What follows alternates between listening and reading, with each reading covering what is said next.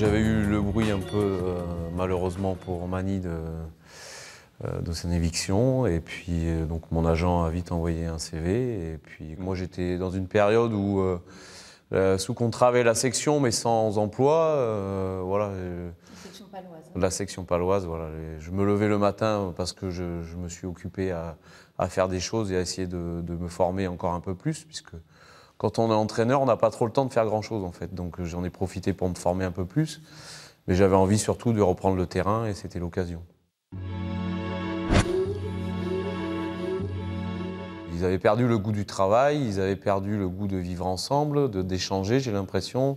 Oui, j'ai essayé de changer la vie de tous les jours euh, au niveau humain pour essayer de redonner du baume au cœur au collectif.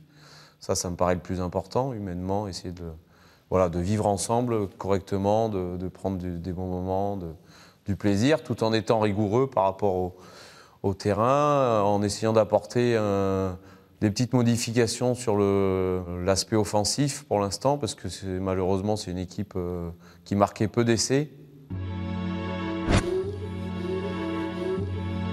Ouais, ouais, ouais, il y a une bonne réponse des joueurs, c'est chouette, ouais.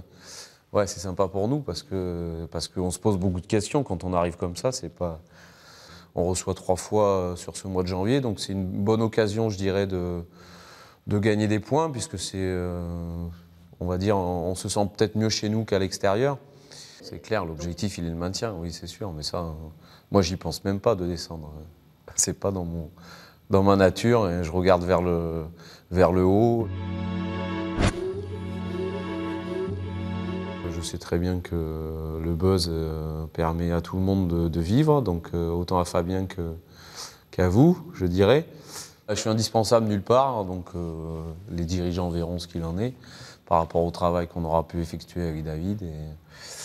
Voilà, mais je crois pas que c'est le moment de, faire ce genre de, truc, étant donné qu'on vient juste d'arriver et que les joueurs ont été déjà, à mon avis, assez perturbés par le, fait que Mani soit parti. Euh, je pense qu'il avait fait du bon travail et qu'il y avait un attachement naturel entre eux et Mani et que c'est pas facile de voir partir quelqu'un qu'on estime.